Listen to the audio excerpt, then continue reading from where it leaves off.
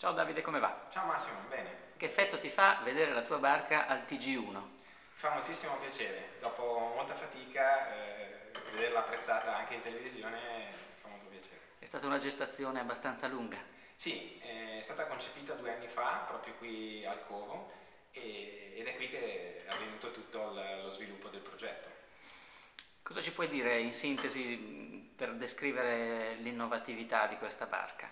Beh, è una, una, barca ecocompatibile, quindi innanzitutto il materiale da costruzione che è il polietilene, quindi materiale completamente riciclabile. In più la propulsione è elettrica e l'energia è anche eh, attinta con dei pannelli fotovoltaici, quindi da, dal sole. Quindi possiamo definire la propulsione ibrida? Sì, mm, solare elettrico. Solare elettrico, perfetto. E, ehm, secondo te per quale motivo ha, continua, si continua a parlare di questa barca?